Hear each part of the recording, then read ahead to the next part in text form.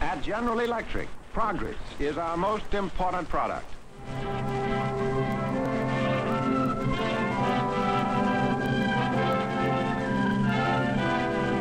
The General Electric Summer Theater presents your favorite stars in the most popular stories from the General Electric Theater.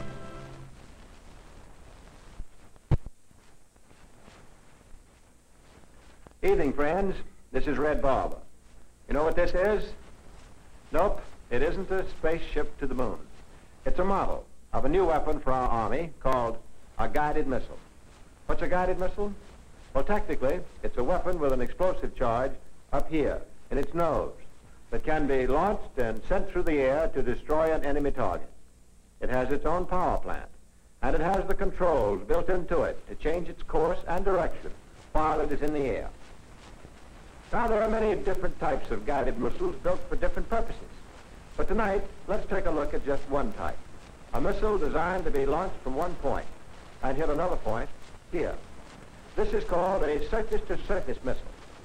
That's nothing new, you say?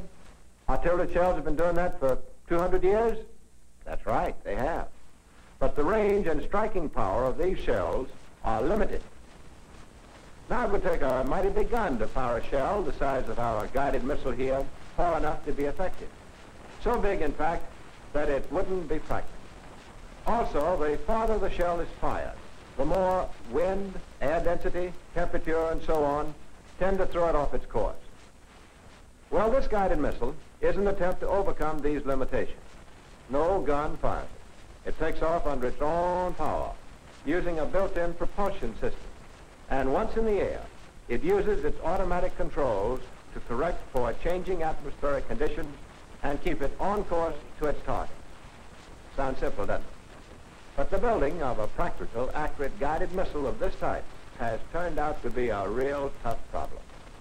Our forward-thinking armed forces turned to American industry with contracts to develop guided missiles way back in World War II. General Electric, for instance, working closely with the Army Ordnance Corps, organized an intensive research and development program. A separate guided missile department was established, and the race to perfect the guided missile was on. The job was anything but easy.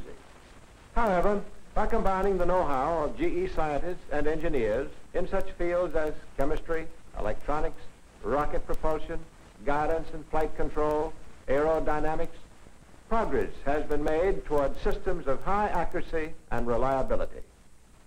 Perhaps someday, these advances in the field of rocket flight will prove to be the first steps in the conquest of space itself. But whatever future scientific and engineering developments are made, you may be confident that General Electric will play an important part in making them. Because always in peace and when necessary for defense, at General Electric, progress is our most important product.